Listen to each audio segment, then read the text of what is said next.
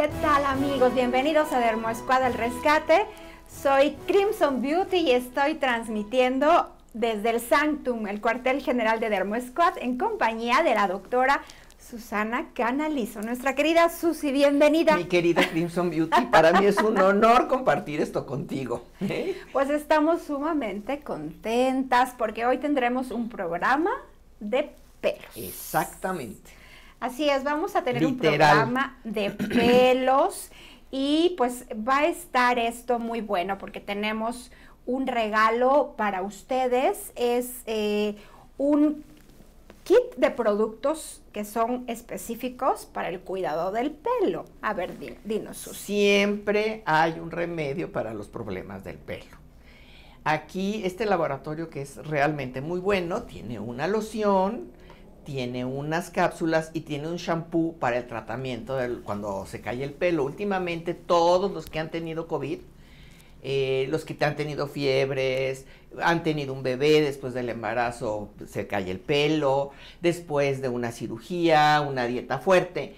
En esos momentos y en estas épocas de estrés vamos a ver también esas alopecias areatas donde se cae el pelo en zonas específicas y aquí tenemos un excelente tratamiento que nos va a ayudar a recuperar todo esto y a disminuir al máximo este tipo de, situaciones que para muchos, sobre todo para los señores, son muy estresantes, ¿no? Bueno, pues este es el regalo que tenemos para ustedes. Tendremos cinco kits de estos productos de los laboratorios ISDIN, un shampoo, unas cápsulas y una loción anticaída que se llama Lambda Pill.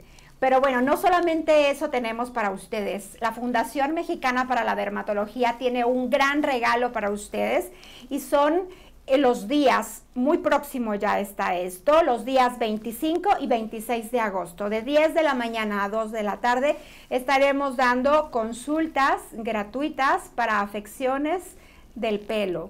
Cualquier problema del pelo, ustedes pueden sacar su cita para obtener una consulta totalmente gratis este 25 y 26 de agosto en los consultorios de la Fundación Mexicana para la Dermatología, que recuerden ustedes, está en Serapio Rendón 61, en la colonia San Rafael, dentro de la privada roja. Un hermosísimo lugar que en algún momento fue la embajada italiana y que ahora han rescatado y es un lugar muy agradable donde se puede desayunar, donde hay un pan delicioso, este, algunos otros restaurantes y además pues el hecho de la consulta gratuita para las personas que tienen problemas de pelo, de todo tipo de problemas de pelo, ¿no? Cualquier edad.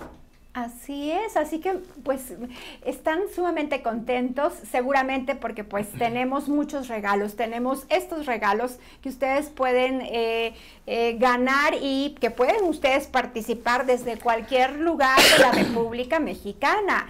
Ustedes pueden enviar su video que eh, al final les diremos qué es lo que tienen que decirnos en ese video y también podrán eh, ser pues acreedores a esta consulta para el tratamiento de afecciones del pelo.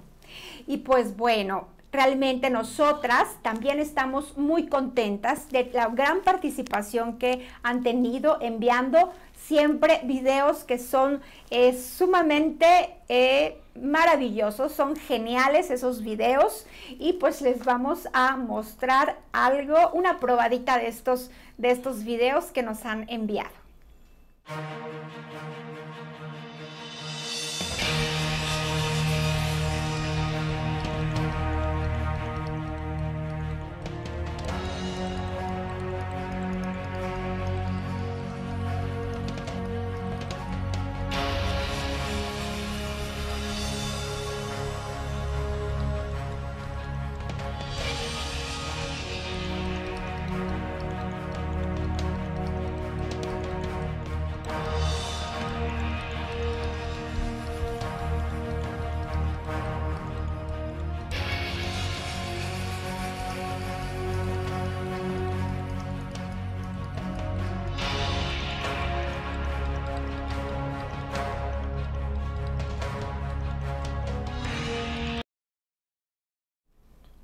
Pues muchas felicidades. Felicidades a Héctor Herrera, a Raúl Gina López, Omar Ruiz, Jacqueline López. Felicidades porque nos enviaron videos maravillosos y tienen sus eh, productos pues para cuidar su piel de la mejor manera. Y pues bueno, ahora eh, mi querida doctora Susi y yo tenemos una misión y es enseñarles algunas afecciones o problemas capilares que ustedes tienen que identificar y si lo hacen pues tienen que eh, llamar a los teléfonos que eh, les vamos a estar mandando a través del chat y a través de todos los comentarios eh, para que saquen una cita y puedan atenderse en el consultorio de la Fundación Mexicana para la Dermatología. Es una misión y, es la que hoy pues nos hemos dado a la tarea. ¿Verdad? Exactamente. Bueno, hablemos un poquito de la cosmética capilar. Es bien importante que aparte de que el cabello no se nos caiga, pues de que el cabello pues se mantenga en condiciones adecuadas. Que, se vea se sano. vea sano, que se vea un cabello pues bien cuidado. Y entonces, pues bueno, vamos a, eh, a utilizar pues ciertos productos y a, nosotros nos gustaría saber qué es lo que ustedes usan para el cuidado de su cabello. Vamos a, nos gustaría conocer los hábitos en relación al cuidado de cabello. Eso a nosotras nos ayuda mucho para poder hacerles la mejor recomendación. Y además, si mi querido George nos pone nuestros los comentarios de nuestros amigos, pues porque queremos agradecerles que estén conectados a Betty Ponce, a Sarita Castillo, a Pilar eh, Mijancos Ramírez, a Julis Hernández, a Isis Gómez, a Edith Trejo Ochoa. Muchas, muchas gracias por conectarse. Besitos a todas. Y por la compañía, que no, eso nos da muchísimo gusto, porque nos permite llevar el mensaje que tenemos que dar. Así es, muchísimas gracias por conectarse. Envíen esos comentarios de cómo cuidan su cabello y también envíen comentarios ya en relación a algún problema que ustedes estén presentando, desde que se les cae mucho el cabello o que tienen caspa o que tienen algún otro problema. Eh, realmente hay tantos problemas eh, en relación al cabello, pero pues bueno, platíquennos y pues eso nos va, nos va a ayudar para hacer las recomendaciones precisas. Bueno, pues en relación al, al- al cabello, al lavado del cabello, al shampoo, hay una situación en relación a algunos shampoos que están etiquetados como libres de sulfatos.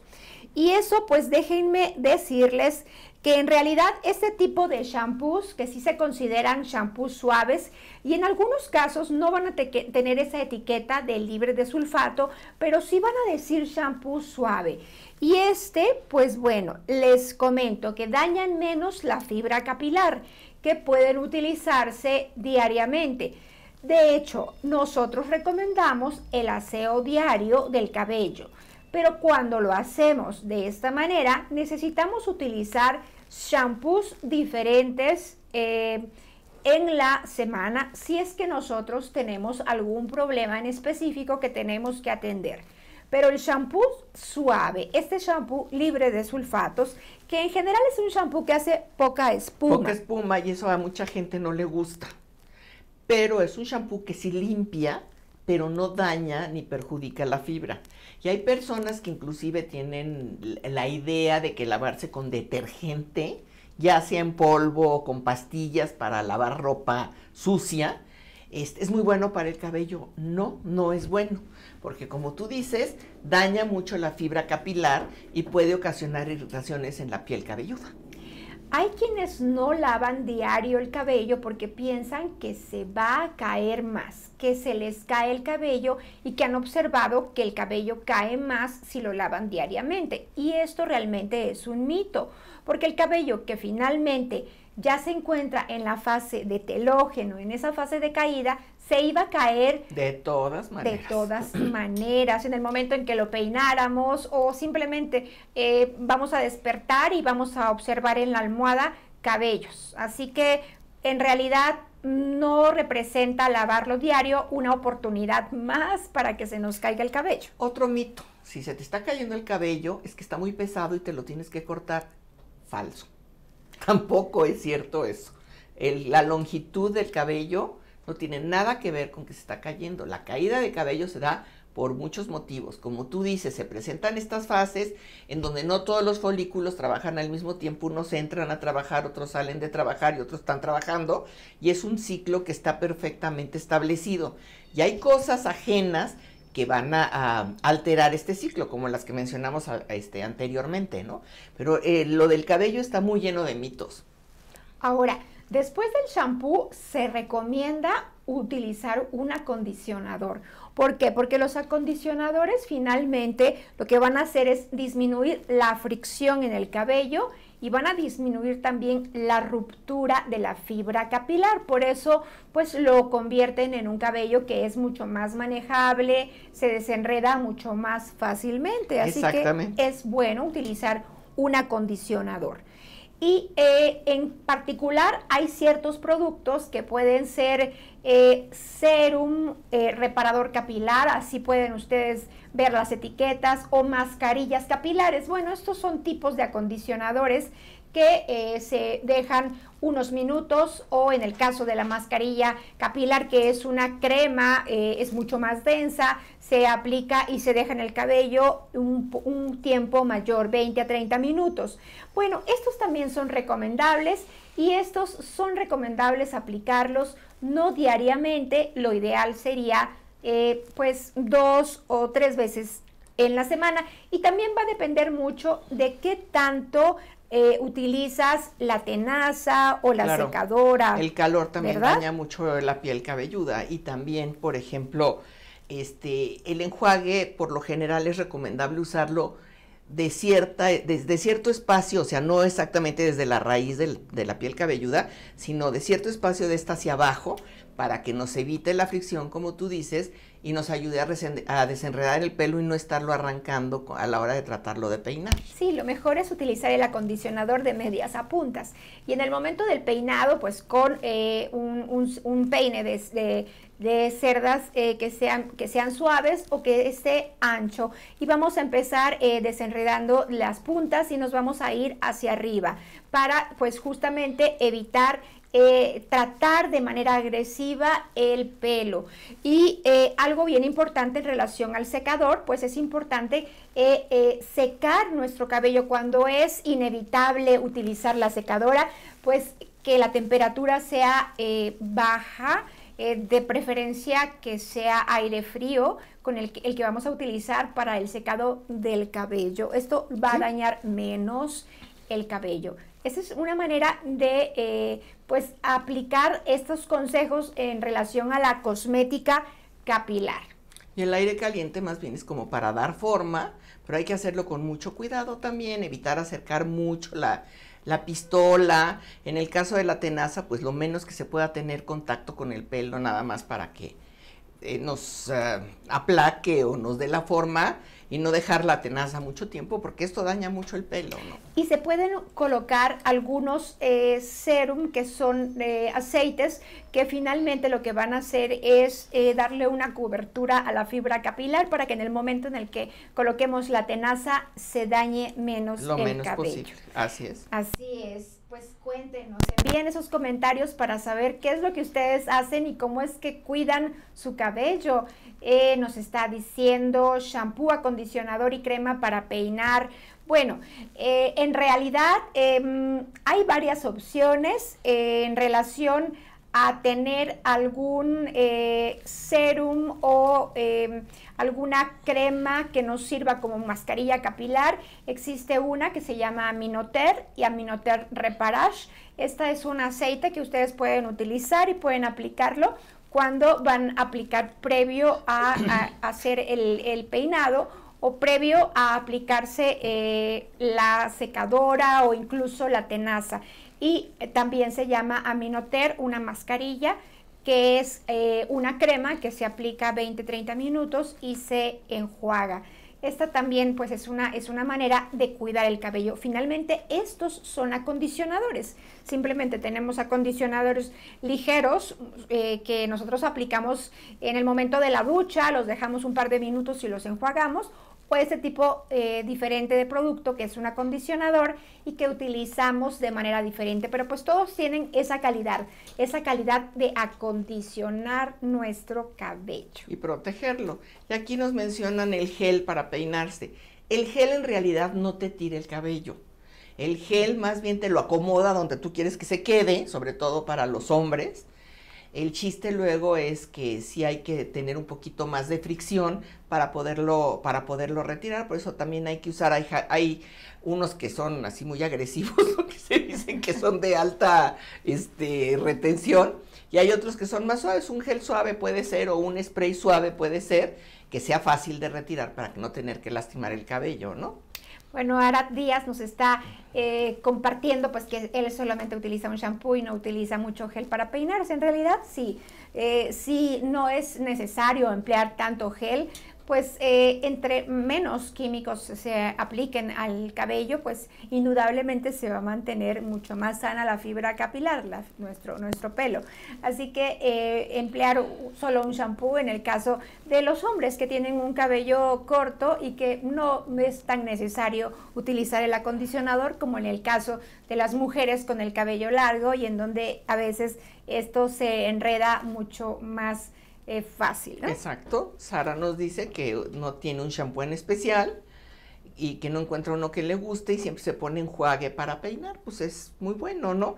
Hay que buscar, dependiendo, tenemos pelo muy chino, tenemos pelo muy pesado, muy lacio, todo eso va a ir en, en eh, función a qué tipo de cabello tenemos, ¿no? Entonces, este, ahora ya hay shampoos especiales para cabello muy chino, para cabello muy lacio, este, el chiste es no abusar de estos productos en el sentido de que se pongan demasiados o no se enjuaguen porque el pelo se ensucia fácilmente y entonces ya es, eh, hay que estarlo eh, lavando frecuentemente. Y si luce seco, como tú dices, estas mascarillas te las pones así en las manos y es para proteger las puntas. Por ejemplo, la mascarilla de Aminoter es extraordinaria para proteger, para proteger las puntas y te ayuda a peinarte muy bien. Sí, bueno, Mari Carmen eh, nos está comentando que ella nada todos los días y que se coloca una gorra, pues esta es una forma de protegerla, aunque se moje la gorra, de todas maneras su cabello va a estar mucho más protegido, ¿verdad? Sí, claro. Muy bien. Bueno, veamos eh, un poquito en relación, a ver, Erika nos está comentando algo que también es interesante mencionar. ¿Es bueno ponerse mascarillas caseras? No. Eh, bueno, hay miles de cosas de remedios para el cabello. Hay quienes le ponen anticonceptivos, pastillas anticonceptivas machacadas al shampoo, no funciona. Hay quienes se ponen este, agua con chile molido, no funciona. O sea, yo siempre y tú también abogamos porque los remedios caseros no se deben de utilizar. Ahora en el cabello, pues no pueden ser tan, tan grave como en otras cosas. Pero sí, todos los productos que se hacen con un laboratorio con reconocimiento son productos que tienen estudios muy profundos y que están hechos para que no produzcan reacciones adversas.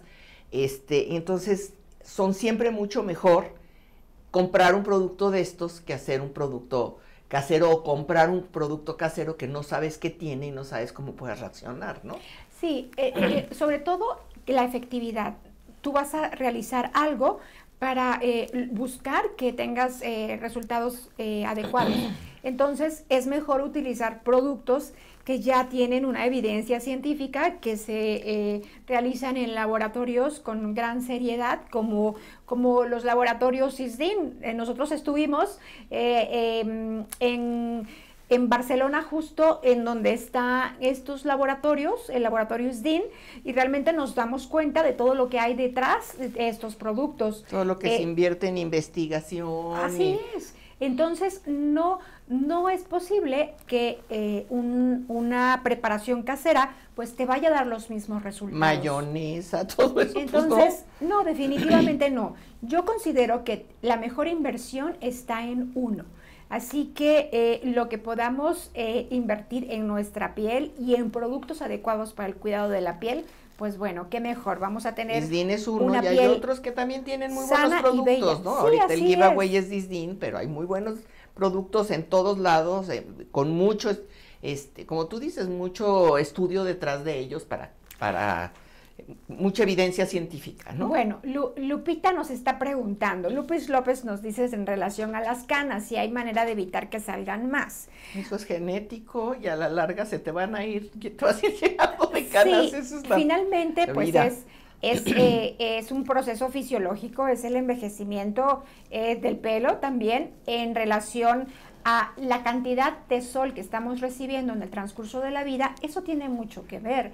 Realmente el estrés oxidativo, la cantidad de radicales libres o el generar un estrés oxidativo por la cantidad de sol que recibimos durante el transcurso de la vida, pues bueno, esto va a repercutir en la calidad de piel y también en la calidad del pelo. Y en la calidad del pelo, pues ahí hablamos de tener también más canas. Existen algunos suplementos alimenticios que tienen eh, algunos minerales que van a ayudarnos a eh, reducir la cantidad de cana. Y esa sería pues la recomendación para Lupita López, que tu dermatólogo te prescriba ese suplemento alimenticio que te ayuda a reducir más la cantidad de cana. Que hay gente que genéticamente a los 25 años ya están llenos de canas, ¿no? Así es. hay gente que tiene 70 años y tiene muy pocas. Exactamente. Ahí es la genética y los hábitos de exposición al sol también. Exactamente. Ajá. Bueno, a ver, vamos a ver este problema, que es un problema que vemos frecuentemente y que se trata de la alopecia areata. Es un problema donde exactamente este, se cae en un área de la cabeza o en varias el pelo.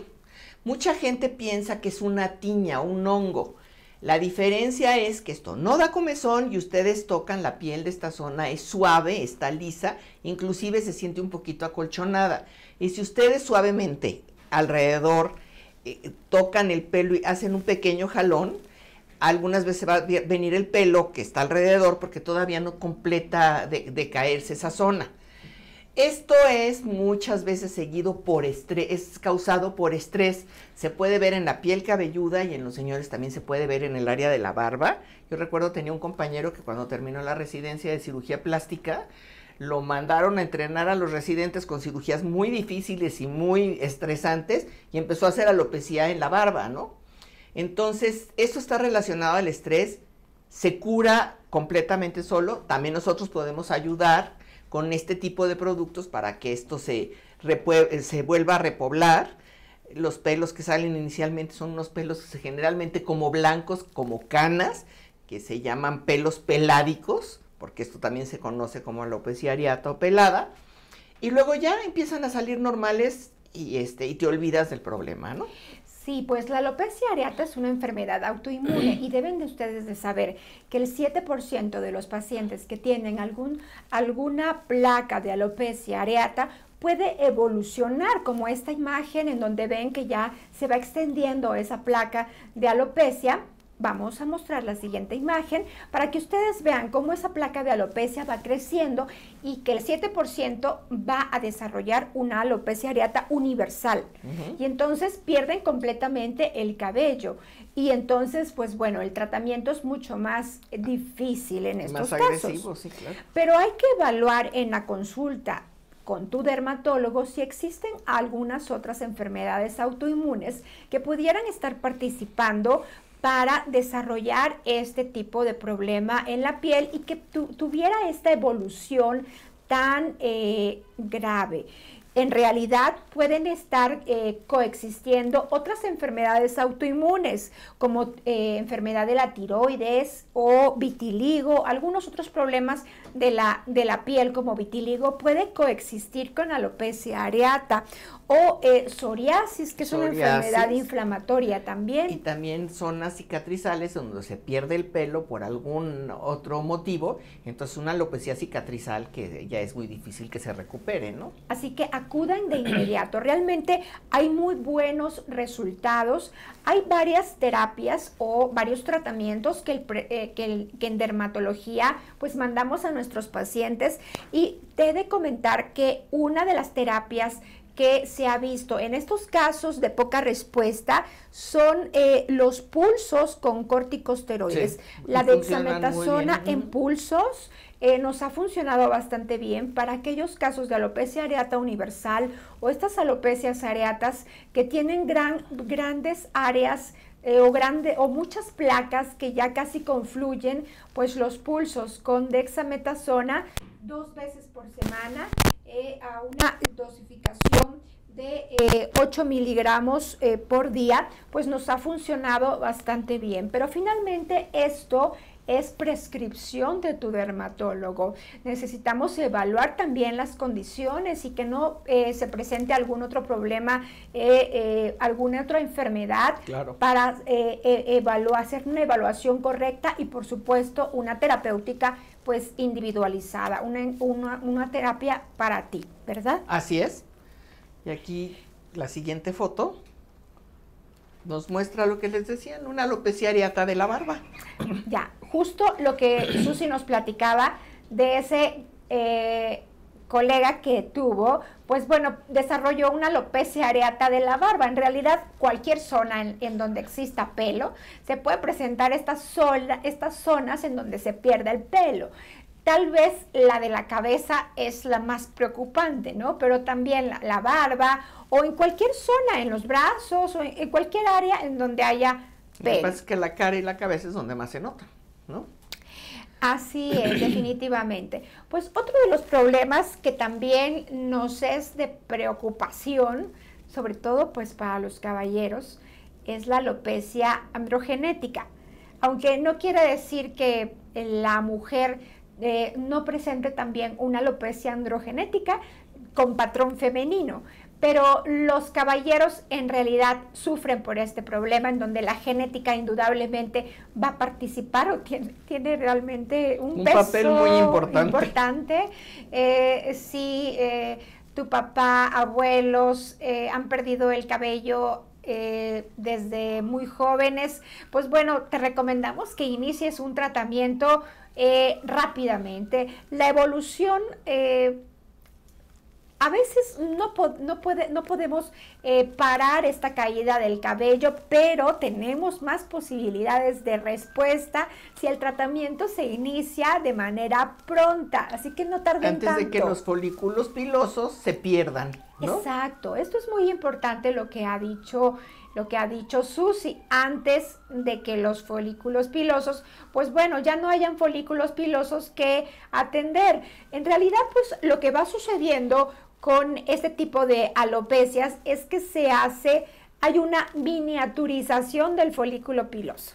Hasta que se ahoga y se, se, va haciendo pequeñito, el folículo piloso se va haciendo muy pequeño y entonces pues bueno, hasta que llega un momento en que ya este folículo piloso pues vemos estos cabellitos se van haciendo mucho más delgados hasta que parecen prácticamente bellos.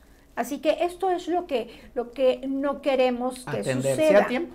Y hay pues muchas terapias, una de las, eh, o dos terapias de las más utilizadas en el caso de la alopecia androgenética es la, el minoxidil y la finasterida, que se tienen que utilizar por eh, periodos eh, largos dependiendo de la evolución, dependiendo de la respuesta.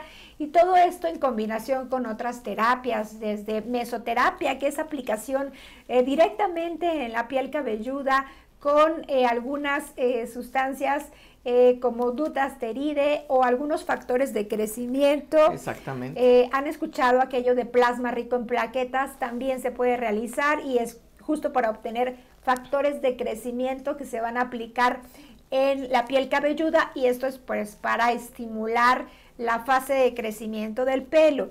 Hay varias terapias que se pueden realizar, pero es importante que acudas con el dermatólogo porque finalmente si lo dejamos a libre evolución, pues va a llegar un momento en el que ni, ni vas a ser candidato a un trasplante de pelo, porque no crean que todos somos candidatos a trasplante de pelo. Si hemos dejado que esta alopecia o que esta caída de cabello avance, pues llega un momento en que ya, no ya no se puede ni esta opción. Ahora, siempre debemos estar con, un dermatólogo, porque algunos de estos productos te pueden dar bajones de presión.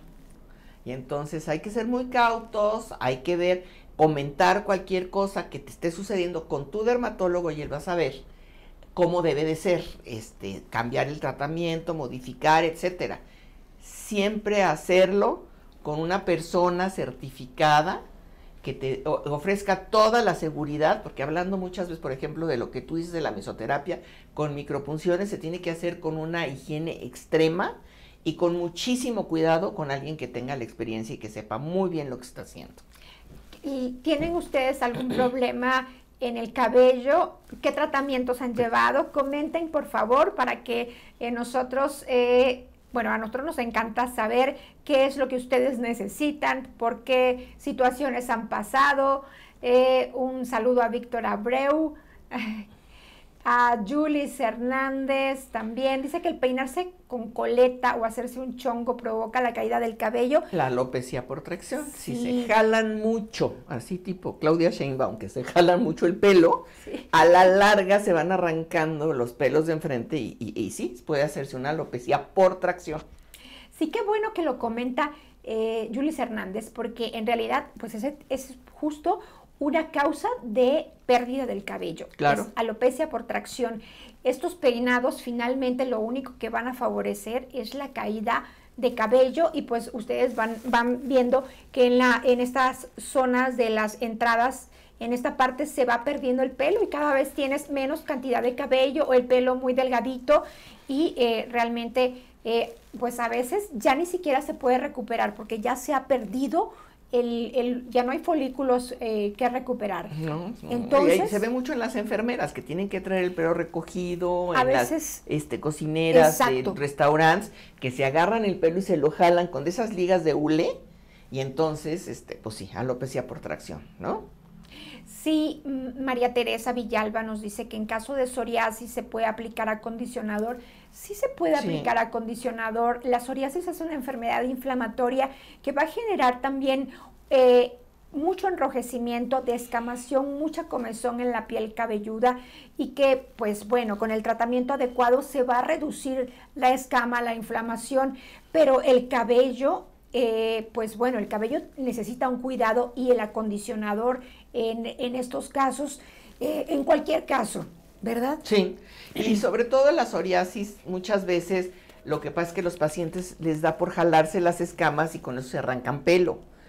Este, y son pacientes que sufren porque esa psoriasis produce caída de cabello y los pobres parece que tienen mala higiene, ¿no?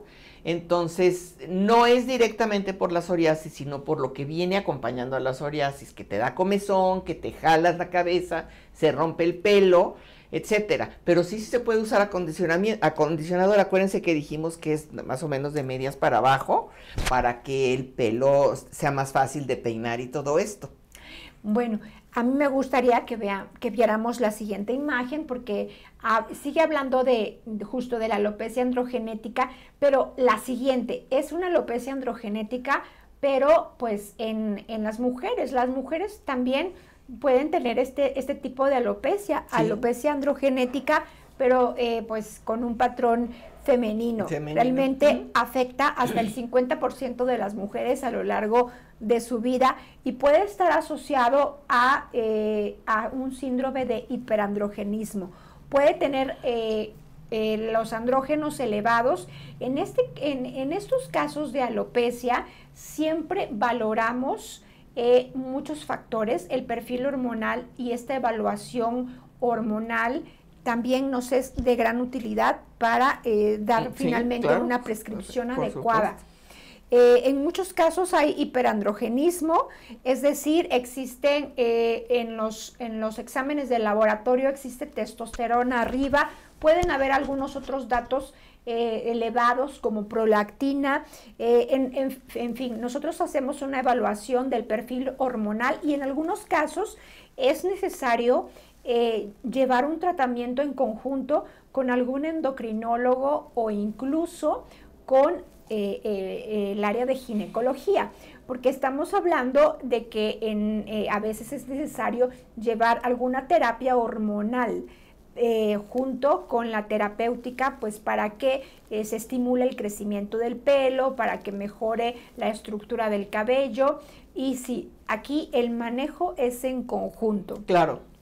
Muchas veces los tratamientos son, como decimos nosotros, multidisciplinarios, como en este caso que se puede echar mano o de un ginecólogo o un endocrinólogo que nos puede ayudar en, en los aspectos hormonales de los pacientes, ¿no? Sobre todo en las mujeres. Sí, mira, con esta imagen lo que queremos es eh, que ustedes sepan que hay algo que se llama el fluvio telógeno y es una caída de cabello de forma importante, generalmente de inicio súbito que comienza eh, después de alguna situación como el parto, el efluvio después del parto es, es frecuente después de situaciones de estrés, después de alguna cirugía o después de enfermedad.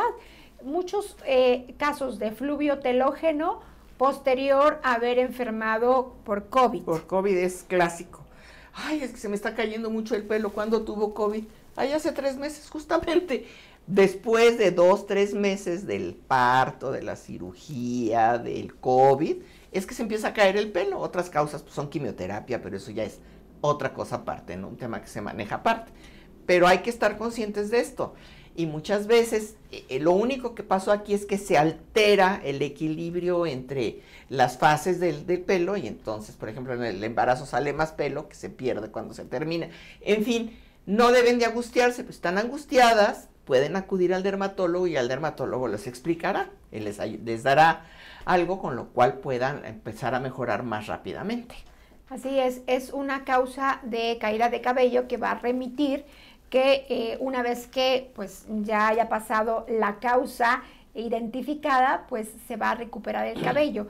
Y el dermatólogo, pues lo que hacemos en la consulta es dar algún eh, suplemento alimenticio para favorecer la fase de crecimiento del cabello, eh, productos con minoxidil, ya sea minoxidil por vía tópica, en alguna loción o en espuma, o eh, inclusive minoxidil por vía oral, y en combinación con antioxidantes. Los antioxidantes favorecen mucho la fase de crecimiento del pelo, desde superóxido dismutasa o eh, polipodium leucotomos que se, tiene, se obtiene en algunos suplementos o como el que tenemos aquí que es lambda eh, CAPS y este suplemento alimenticio pues también tiene minerales, tiene vitaminas, tiene propiedades que van a favorecer la fase anágena, es decir, la fase de crecimiento del pelo.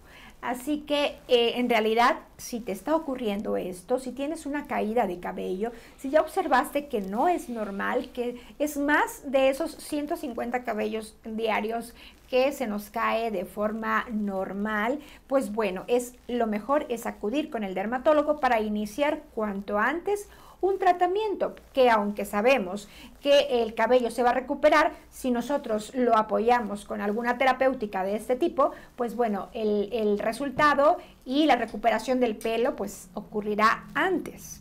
Bueno, ¿qué pasa cuando tenemos caspa? Este problema que se debe a un estado pues descamativo de la piel cabelluda y que se acompaña de comezón, que en general es una comezón leve, y no hay signos de inflamación, solamente está esta descamación, pero eh, pues ahí hay, hay, la presencia generalmente de eh, pues un microorganismo que se encuentra elevado y que cuando se junta la descamación, este microorganismo que se encuentra eh, en cantidades mayores, puede generar inflamación en la piel cabelluda y presentarse una dermatitis seborreica de piel cabelluda que en muchas ocasiones pues, esta dermatitis seborreica no se queda nada más en la cabeza.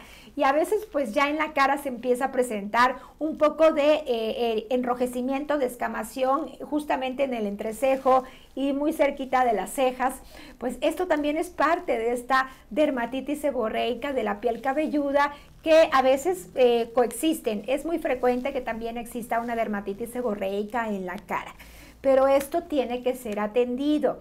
Pues justamente este laboratorio ISDIN tiene un producto eh, también muy bueno que se llama Nutradeica, que puedes utilizar, Nutradeica shampoo y que puedes utilizar de manera regular durante el aseo de tu cabello y pues puedes utilizarlo de manera eh, alterna, es decir, pues un día utilizas este shampoo que tiene esta acción para reducir la caspa y otro eh, día pues algún otro shampoo que sea suave justamente pues para no eh, resecar tanto el cabello y no agredirlo. Pero es importante iniciar una terapia con algún shampoo de este tipo que nos ayude a controlar la cantidad de escama que se está presentando. Y luego la dermatitis seborreica da mucha comezón y este shampoo es como magia negra para quitar la comezón, ¿eh? ayuda muchísimo. Tomen nota, Nutradeica Shampoo. Pero, pero finalmente la recomendación es no te automediques, es acude con el dermatólogo porque probablemente necesitas algo más. Así que lo mejor siempre es la visita con el dermatólogo y pues yo quiero recordarte que tú tienes muchas opciones siempre para acudir con un dermatólogo y que la Fundación Mexicana para la Dermatología tiene excelentes opciones y quiero mi George que les puedas mostrar eh, recordar que pues tenemos estas opciones de consulta para nuestros queridos amigos.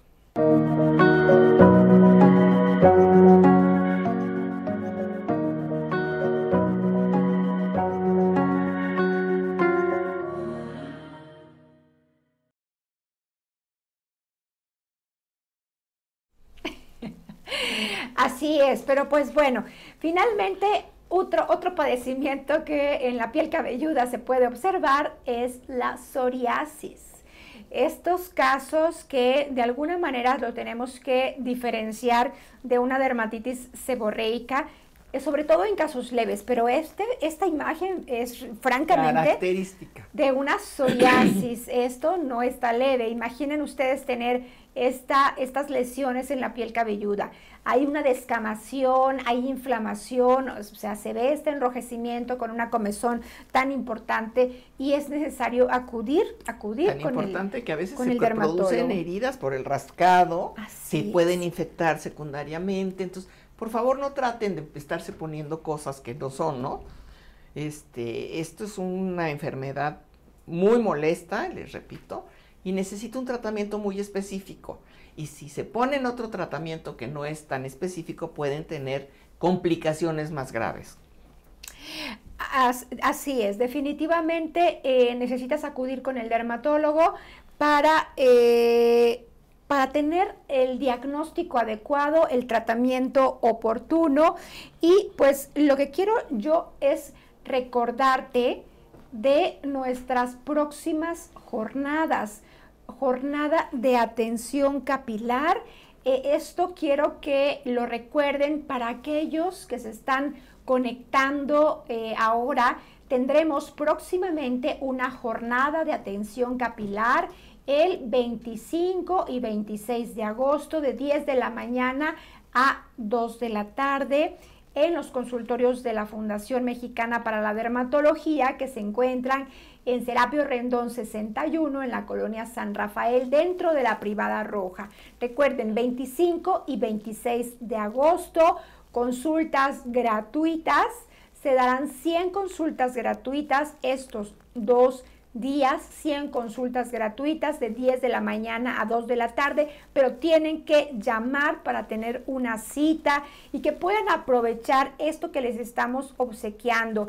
Vamos a tener pláticas sobre eh, pues problemas del cabello. Durante las consultas se van a estar dando también pláticas Vamos a tener la presencia también de nuestros amigos de la industria que van a estar eh, con ustedes obsequiándoles algunas muestras de tratamientos para el cabello. Así que nosotros los esperamos 25 y 26 de agosto de 10 de la mañana a 2 de la tarde. Por favor, aprovechen esto que les estamos obsequiando con todo el cariño. Y pues bueno, ahora es esto que también les estamos obsequiando con mucho cariño, que es eh, una loción eh, que se llama Lambda Peel, que es una loción anticaída, una loción en spray, eh, que son unas cápsulas que se llaman Lambda Caps, que ayudan a fortalecer el cabello, a favorecer el crecimiento del pelo. Y un, shampoo, que también es lo mismo, hay que aplicarlo, hacer masaje, dejarlo actuar unos dos minutos y luego ya enjuagarse, ¿no? Bueno, pues ¿cómo puede ser ganador? Son cinco ganadores, pueden participar desde cualquier lugar de la República Mexicana y esto lo van a hacer enviando un video, un pequeño video en donde ustedes nos van a platicar o comentar lo siguiente. Nos van a decir pues qué problemas han presentado en el pelo seguramente han presentado algún problema en el cabello en algún momento de la vida. Pues platícanos, ¿qué problema has presentado en el pelo? ¿Acudiste con un dermatólogo por el problema que presentaste? ¿Y cuál fue el tratamiento que te indicó?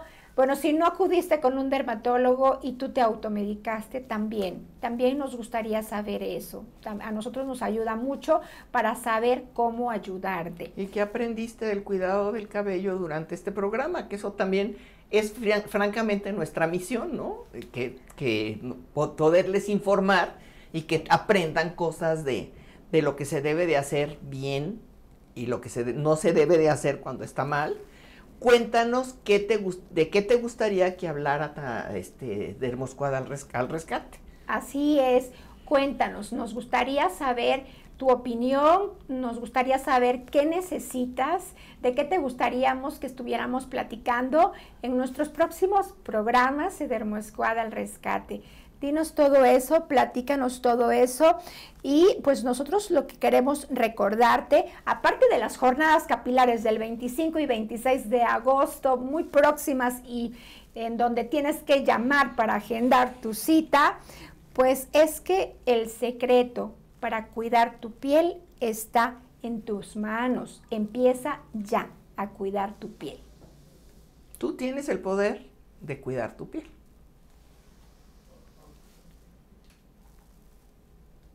Tienes.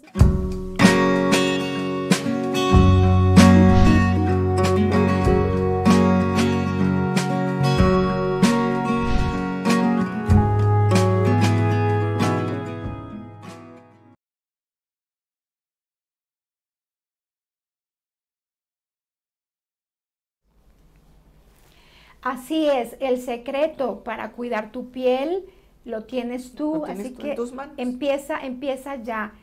Siempre, siempre te recordamos eso. Tú tienes el poder de cuidar tu piel. Tú tienes el poder de ser quien quieras ser y de hacer lo que desees hacer. Así que eso es lo que te pedimos, que te mantengas firme, que sigas tus sueños y pues bueno, ya y que te cuides en general. Que todo, todo es posible. Gracias amigos por conectarse. Los queremos mucho, les mandamos besos y abrazos y les recordamos, como siempre, que ustedes tienen el poder de, cuidar, su, piel. Nos vemos en el siguiente programa. Y gracias por admitirnos en sus casas.